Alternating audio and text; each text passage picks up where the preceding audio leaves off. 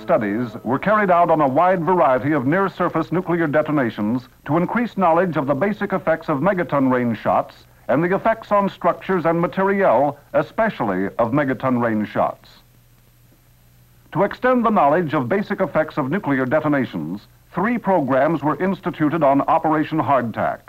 Underground studies of acceleration, displacement, pressures, and shock spectra. Radiation studies of neutron flux and fallout from megaton devices. Electromagnetic studies of pulses from nuclear detonations and ionospheric effects of surface detonations. Ground motion measurements were made on two surface bursts, the 17 kiloton cactus and the 1.4 megaton Koa detonations. Emphasis was on obtaining measurements in high overpressure regions for use in the design of hard protective structures. The effect of soil type and weapon yield on ground shock was of particular interest. Participation in cactus supplied low-yield coral soil data for comparison with results obtained in Nevada soil from shots of similar yield. Koa provided high-yield data for comparison with the low-yield cactus data obtained in similar soil.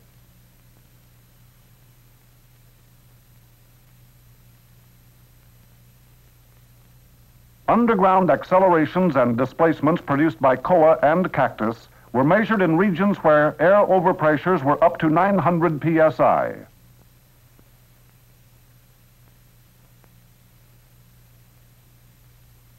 Koa measurements, in particular, were at three ranges from 2,000 feet to 4,000 feet from ground zero and at depths down to 100 feet.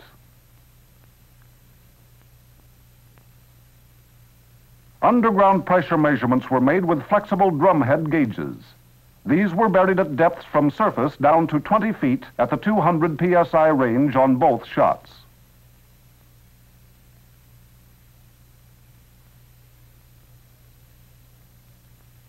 Canisters with vibrating reed-type gauges were installed with their tops flush to the ground surface and inside flexible arch structures at overpressure ranges from 75 to 200 psi. The response of these gauges to ground shock is being used to broadly delineate the responsive structures or instrumentation to the same shock environment. An air blast line was installed to provide air overpressure measurements for correlation with the ground shock data.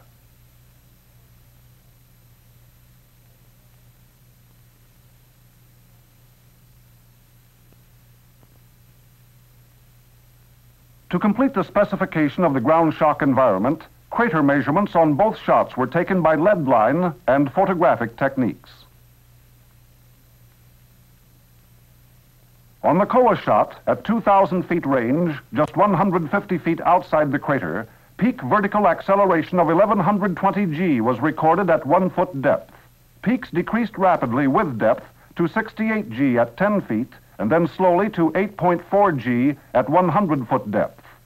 Vertical accelerations at 3,150 feet range show similar decrease with depth from 441 G near the ground surface to 1 G at 100 foot depth. Maximum vertical acceleration on the cactus shot was 616 G at 400 foot ground range and 1 foot depth. Cactus peak vertical accelerations also showed rapid decrease with depth. On both shots, peak vertical acceleration showed a more rapid decrease with depth than at Nevada at similar air overpressure ranges. Horizontal ground accelerations on both shots were higher than those observed at similar air overpressure ranges in Nevada. On Koa, peak horizontal accelerations at 2,000 feet range varied from 40 G at 10 foot depth to 51 G at 50 feet depth to 5.6 G at 100 foot depth. Observed acceleration records did not follow as simple a pattern as previously observed from airbursts at NTS. Nevada acceleration traces are more readily related to the shape and strength of the air blast wave, which generates a ground shock as it arrives at a location. The EPG records of the hardtack shots, cactus in particular, are much more complex. The high seismic velocity characteristics of the coral soil causes early arrival of refracted and direct Earth-transmitted energy, which in many instances masks effects due to the local air blast slap. Relative displacement measurements between the ground surface and the 50 and 100 foot depths on both shots showed smaller displacements than expected from Nevada results. The largest was less than three inches. Underground pressure measurements taken with flexible drum heads show pressures a few feet below the surface are considerably lower than surface air overpressures. However, at 10 foot depth, pressures begin to increase. On cactus in particular, a pressure of 500 psi at 20 foot depth was recorded, twice the surface overpressure. It is believed the abnormally high underground pressures are due to the effects of large amounts of groundwater in the soil. Measurements of air blast phenomena, which were made over extended blast lines for Cactus and Koa, did not indicate a precursor formed on either event. Waveforms generally showed sharp rises, but were more disturbed for cactus than for koa. Peak pressures obtained with self-recording gauges compared favorably with pre-shot predictions, but those measured by electronic gauges at close-in range for correlation with underground phenomena did not. Furthermore, waveform characteristics at these locations were quite different for the two events. Until further analysis is made, caution should be used in predicting underground structural damage at short ranges. Ground motion results indicate soil type and device yield play an important role in determining underground motions. Correlation of ground motion with air blast data is in progress in an effort to produce scaling relationships. Simple scaling relationships to give ground motion for a particular soil and weapon yield are not apparent. The radiation program studied neutron flux and fallout for megaton range bursts. The objectives of this program were to measure the complete neutron spectra as a function of range and to determine the relative contribution of certain radionuclides to both local and worldwide fallout resulting from megaton land and water surface detonations. Instrumentation for the neutron flux dose measurements consisted of threshold activation and fission detector foils exposed along a single non-radial line from 900 to 4100 yards from ground zero. This instrument line was used on two shots with predicted megaton range yields to document neutron flux spectra and neutron dose as a function of distance.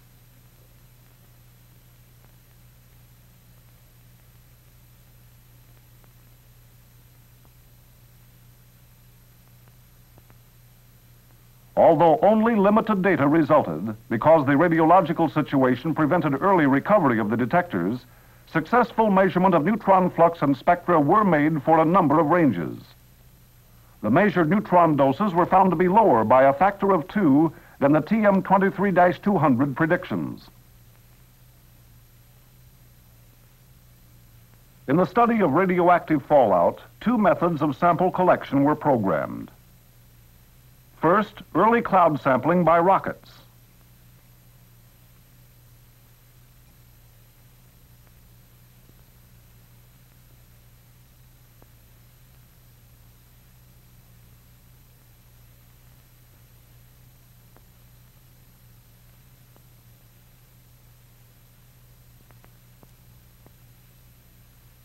And second, residual cloud and fallout sampling by B-57 and WB-50 aircraft. Because of technical difficulties during pre-shot testing and early participation, the rocket sampling was canceled.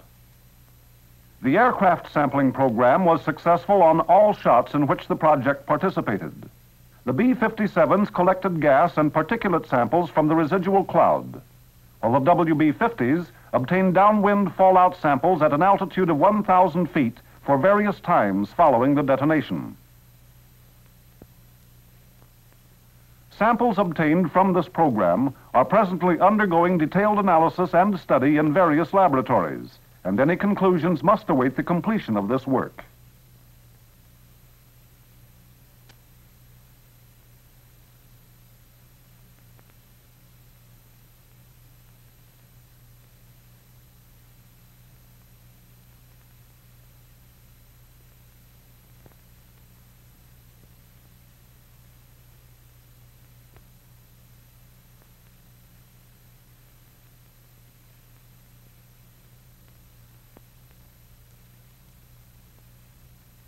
Electronic studies were made on two effects, the electromagnetic pulses and disturbance of the ionosphere as a result of nuclear detonations. To record the waveform of the electromagnetic pulse, two stations, positioned 100 miles and 460 miles respectively from the burst point, made broadband measurements from 0 to 10 megacycles. Signals received by vertical probe antennae were fed into oscilloscopes and the resulting waveform was photographed. These studies were made on seven different shots, including the Yucca balloon detonation. From a comparison of this information with actual shot data, it is hoped that the electromagnetic pulse can be used to approximate total yield when the time and location of the nuclear detonation is known. To study the disturbance of the ionosphere as a result of surface detonations, a C4 type vertical ionospheric sounder was installed at Kusaie Island, 460 miles south of Enewetak Atoll. Similar equipment was located at Wake Island, these sounders emit 50 millisecond pulses at 60 pulses per second, with frequencies from 1 to 25 megacycles. After the signals are reflected from the ionosphere, the received signals are displayed on oscilloscopes as traces. These traces were then photographed for later analysis. The results of this experiment agreed with similar studies made on Operation Redwing, the energy responsible for the first ionospheric disturbance travels at about 12.5 miles per minute. The energy responsible for a second disturbance travels at about 8 miles per minute. In addition to the basic effects program, other experimentation was conducted on material reactions to nuclear detonations. These studies were concerned with aircraft structural tests, underground structures, electronic fuse components, thermal studies of skin simulants and uniform materials, and material ablation. In the aircraft structural effects program, the delivery capabilities of three aircraft types were examined. The B-52, first tested on Operation Redwing, and two Navy carrier planes, the A-4D and FJ-4, both of whose responses to inputs from low-yield nuclear bursts were measured during Operation Plumbob. The objectives of this program were to measure the structural responses of these aircraft when subjected to the effects of high-yield nuclear detonations.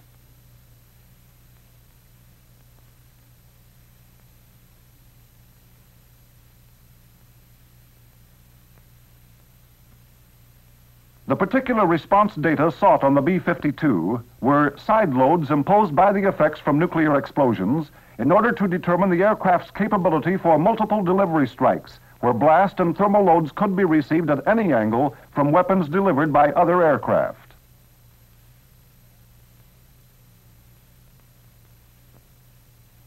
Overpressure input measurements for the B-52 proved to be approximately 10% less than predicted.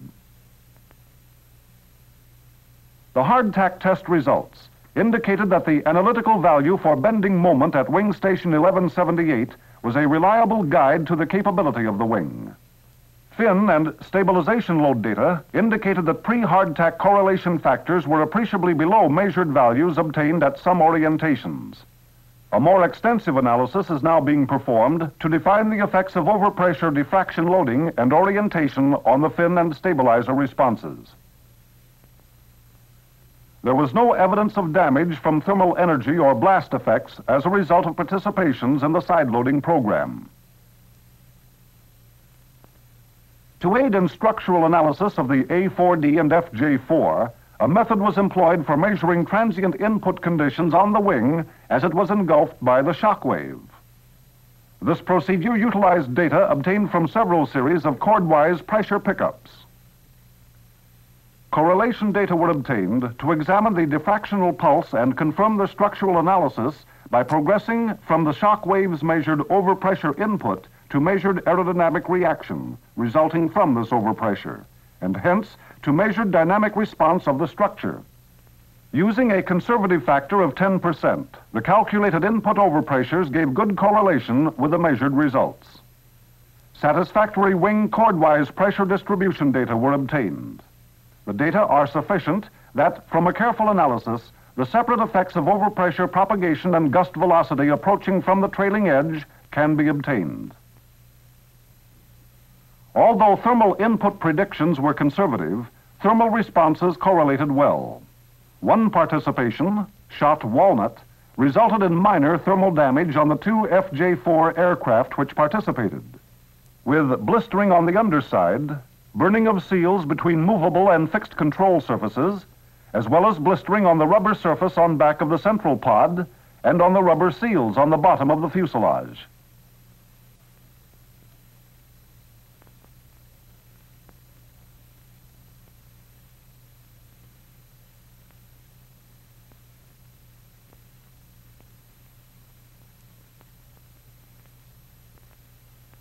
The underground structure study was made in conjunction with the ground motion studies previously shown.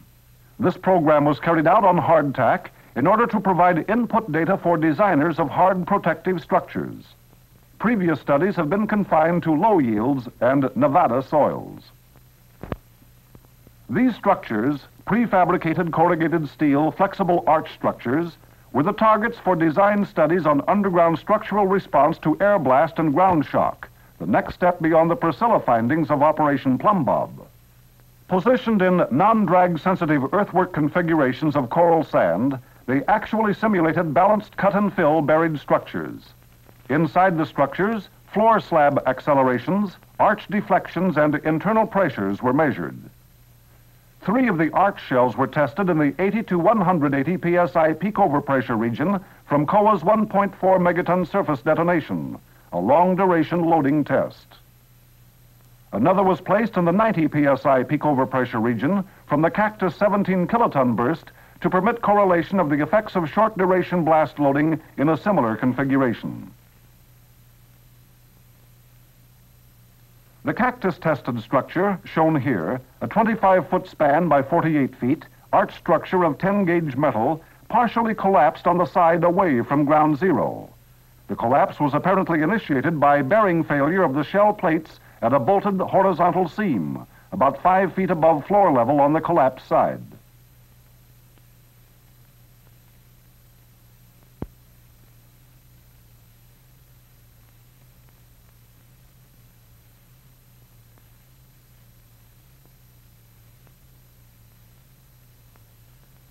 A similar structure, subjected to 78 psi from shot Koa, suffered a complete collapse symmetrically about the crown.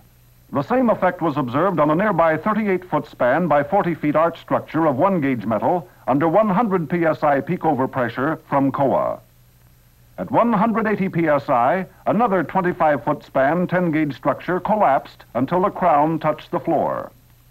High radiation levels on the Koa exposed structures delayed complete recovery operations for a number of months.